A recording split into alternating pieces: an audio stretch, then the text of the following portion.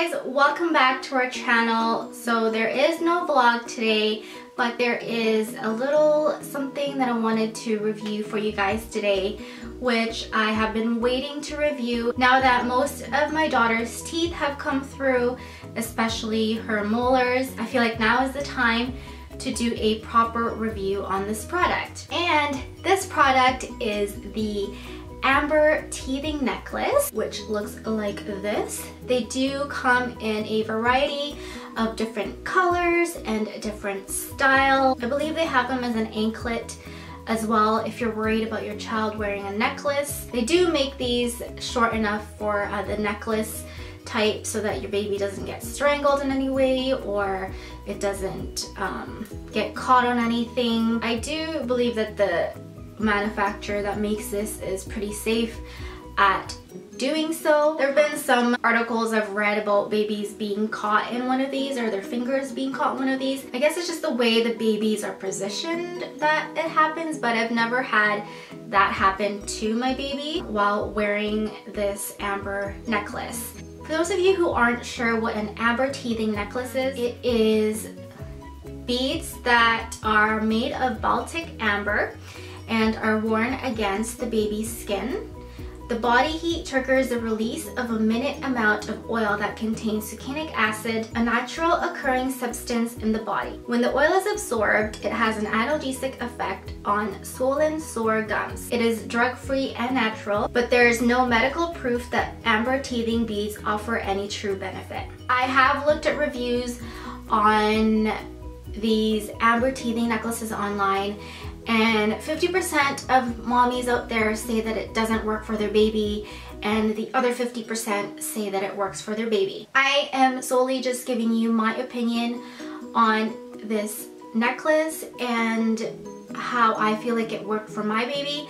So if you do have this amber teething necklace and it didn't work for your baby, you don't have to watch this video because I just want to give my two cents on this necklace. There are different styles of these that you could get. You can get them in an anklet form or a bracelet form. You don't have to have the necklace type. This is just what I preferred for my baby and what um, has worked for me, uh, has worked for my baby. There are no hazards that occurred the time that she was wearing this. Um, I did put this on her when she started teething and drooling at three months old and she wore this up until 13 to about 14 months. My baby is 17 months old now. The reason why she just wore it for that period of time was because she just noticed that she had a necklace and she would just pull it off and she didn't want it on. So I said, okay,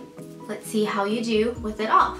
Before I even put the necklace on her, she was drooling constantly because she was starting to teeth.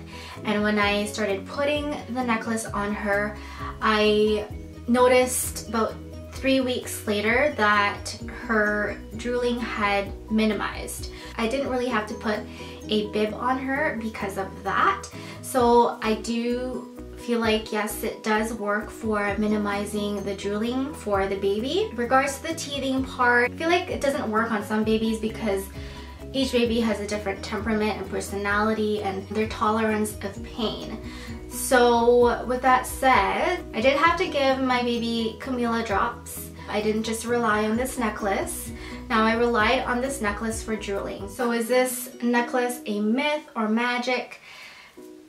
I mean, it all depends. It depends on your baby's temperament, the way they handle pain, um, their tolerance of pain, the way they cope with pain.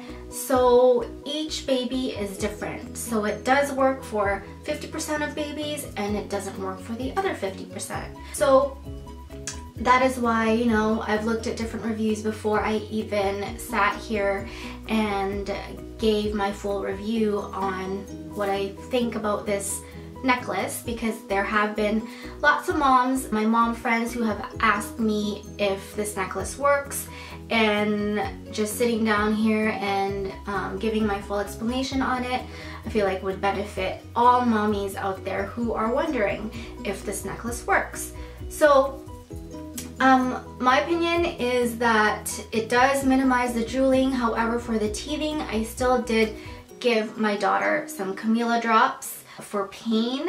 I didn't even notice her molars coming in afterwards. I feel like she was okay with um, without this necklace, with having her molars come through and that is the most painful for babies is when their molars come through but I didn't get any complaints from her. So for you mommies out there who are wondering if this thing works, if you are thinking about buying it for your baby, um, if they're teething, if you're having a hard time, I feel like there's no harm in trying, right? Like you can experiment on your own. I'm sorry for the difference in lighting that's coming in because natural lighting here is the lighting is going in and out and I'm sorry about that you guys but um it's getting dark so I gotta hurry up before my natural lighting does go away completely. I have talked to other moms who have told me that it had worked for them um, when their baby was teething and when their molars were coming through they're a lot calmer. I think that it just depends on your baby's pain tolerance and uh, there's just their personality and how they cope with pain in general. You can try and see for yourself if it works for your baby. If it doesn't, big deal. I did get this uh, from my local baby store and it was like what 20 bucks I think. It's $20 for this necklace but because it is a known to be a natural remedy um, so a lot more natural products are on the expensive side. You know, it really depends on you as a mom if you want your child to wear it or not. I mean, I liked my daughter wearing this because I felt like it was just cute on her, just a little accessory. So um, I wanted her to have the necklace, but you don't have to get the necklace. You can get the anklet or you can get the bracelet. I mean, it all depends on you. I hope you guys learned something from this review. And um, if you have any questions, feel free to comment below and I'll try to get back to you with the answers if I know them. Alright, thank you guys so much for watching and I'll see you guys in our next video. Bye! Mmm. Ah. Ah.